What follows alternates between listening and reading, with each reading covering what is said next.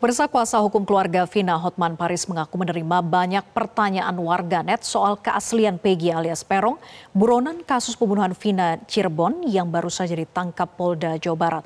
Meski meyakini kerja profesional polisi, namun Hotman meminta agar Polda Jawa Barat segera menggelar konferensi pers dengan menampilkan DPO yang dimaksud. Banyak netizen senang setelah salah satu dari DPO kasus pembunuhan Vina telah tertangkap yaitu Peggy atau Peron.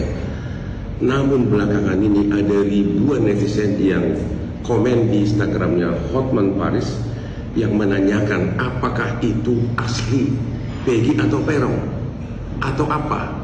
Banyak yang mempertanyakan seolah-olah bukan itu pelakunya, tapi seolah-olah dibuat.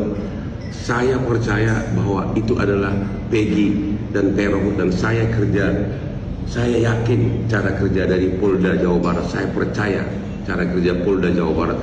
Namun ada baiknya apabila Kapolda Jawa Barat memerintahkan agar dilakukan konferensi pers secara terbuka dengan menampilkan secara fisik orang DPO yang tertangkap tersebut agar masyarakat bisa menilai apakah itu asli Peggy atau Peron. Jelajahi cara baru mendapatkan informasi. Download Metro TV Extend sekarang.